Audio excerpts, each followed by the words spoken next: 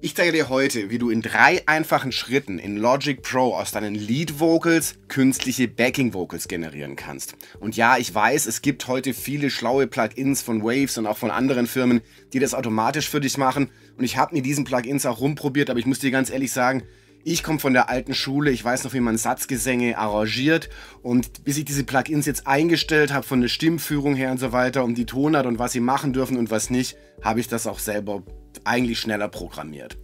Es geht um dieses Projekt und wir hören gleich mal kurz rein. Gut,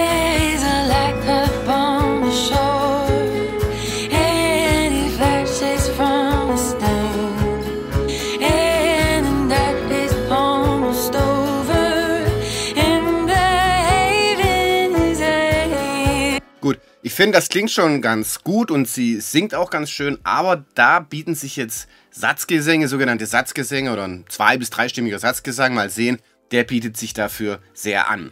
Was ich jetzt als erstes mache, ist, dass ich das immer erstmal ausarrangiere. Das heißt, ich äh, arrangiere jetzt die zwei oder drei Spuren aus, die ich gerne dazu singen möchte. Und dazu spiele ich jetzt mit einem ganz einfachen Piano erstmal die, den Hauptgesang nach und arrangiere dann die Satzgesänge dazu. Das sind dann meine Guide-Tracks. Das klingt dann so, ich habe jetzt einfach die Hauptmelodie einfach erstmal nachgespielt.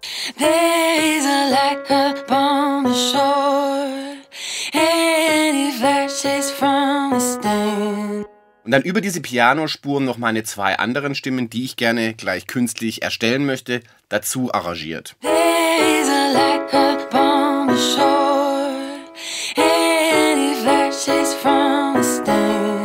im zweiten Schritt kopieren wir jetzt unsere Lead Vocals runter mit dem Trick, den ich euch vor kurzem gezeigt habe, wie man eine ganze Spur mit Inhalt kopieren kann.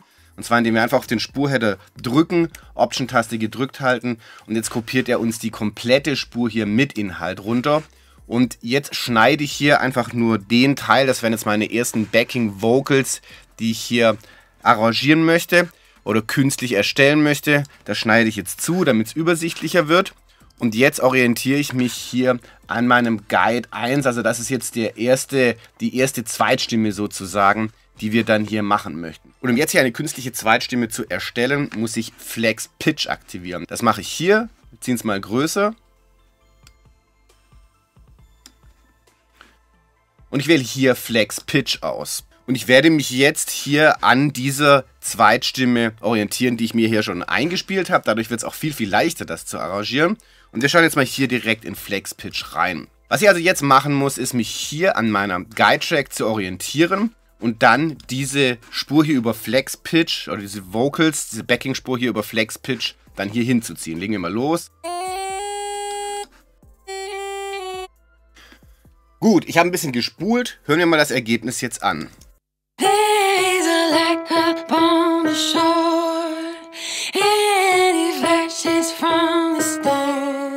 Das klingt schon mal recht gut und schauen wir jetzt mal, wenn wir jetzt den Guide weglassen, wie es denn mit den Lead Vocals zusammen jetzt schon klingt. There's a light upon the shore, and it flashes from the stand. Klingt schon mal gar nicht schlecht. Es klingt so ein bisschen, ja, ein bisschen Phasenschweinereien gibt's, aber ich habe ja schon erklärt, das machen wir dann nachher noch. Gut, das mache ich jetzt noch für die zwei anderen Stimmen genauso.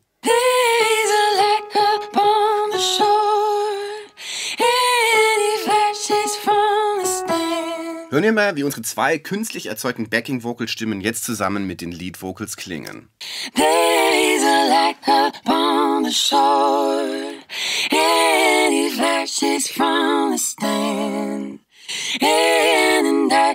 Almost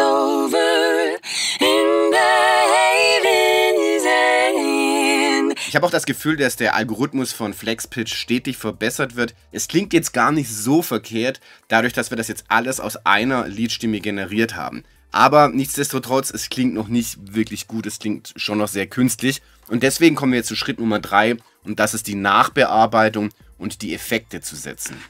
Es gibt einen ganz coolen Trick, den man anwenden kann, um diese Backing Vocals ein bisschen nach hinten zu rücken oder dass es nicht von der Intonation her nicht genau gleich klingt und das ist ihnen das Leben zu entziehen so ein bisschen. Und mit Leben entziehen meine ich Vibrato zu entziehen. Das machst du hier bei Flex Pitch über den, glaube ich, genau. Das ziehe ich jetzt hier komplett raus und dadurch werden die sehr, sehr stumpf klingen natürlich. Ich mache das bei der Zweitstimme gerade auch nochmal. Sie werden jetzt allein natürlich so in dieser Form nicht besonders toll klingen. Aber wenn wir sie nachher drunter mischen, wirst du hören, dass es gar nicht so tragisch mehr ist, weil sie kommen ja dann nachher auch noch ein bisschen in den Hintergrund. Also ich habe jetzt einfach nur das Vibrato bei den Zweitstimmen komplett rausgezogen und dann klingt die ganze Sache so. Shore, any flashes from the stand. Es klingt jetzt ein kleines bisschen besser, natürlich immer noch ein bisschen künstlich, das werden wir hundertprozentig jetzt äh, nicht wegbekommen, das ist klar. Ich pan jetzt aber mal die Backing Vocals ein bisschen nach links und ein bisschen nach rechts, damit sie hier zum ersten Mal einfach ein bisschen weiter in der Breite sind. Und äh, als zweites machen wir sie dann einfach auch ein bisschen leiser, um sie ein bisschen weiter nach hinten zu bringen. Was ich dann auch noch mache, ist ihnen typische Backing Vocal Bearbeitung ein bisschen was von den Höhen rauszunehmen. Das, sie, das schiebt sie dann auch nochmal so ein bisschen hinter die Lead Vocals mache ich einfach hier mit dem Channel EQ. Und wir werden sie noch ein kleines bisschen mit Hall versehen. Eigentlich mache ich das auf dem Gruppenbus. Ich mache das jetzt mal hier, damit es ein bisschen schneller geht, die ganze Sache. Einfach hier, ich nehme hier einfach einen Vocal Hall, mache den ein bisschen von der Decay-Zeit noch ein bisschen größer. Hören wir jetzt mal an, wie unsere künstlich generierten Backing Vocals im Gesamtmix klingen. There's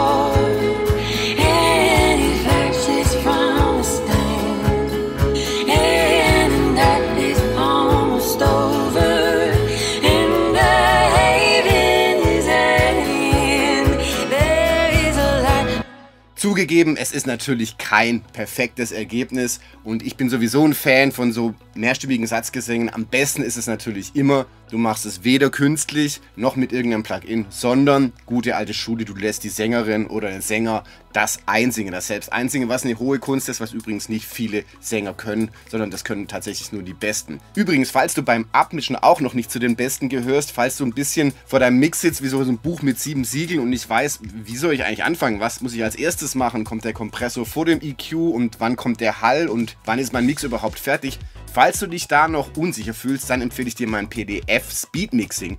Da zeige ich dir in 10 einfachen Schritten mein bewährtes Mixing-System und welchen Schritt du nacheinander machen musst. Das ist das Problem der meisten Mixing-Anfänger, auch Fortgeschrittener. Das ist ein PDF, das habe ich dir unten im ersten Kommentar angepinnt, da kannst du dir das runterladen. Das hat wirklich schon sehr, sehr vielen Leuten weitergeholfen, um mehr Klarheit in ihrem Mixing-Ablauf zu bekommen. Jetzt interessiert mich natürlich deine Meinung, wie produzierst du deine Backing Vocals? Machst du das oldschool, so wie ich, dass du es erst arrangierst und dann mit Flexpitch oder meinetwegen auch Melodyne dann tatsächlich ausarrangierst oder programmierst? Oder gehst du den professionellen, den besten Weg, lässt du das deine Sänger dann direkt alles einsingen?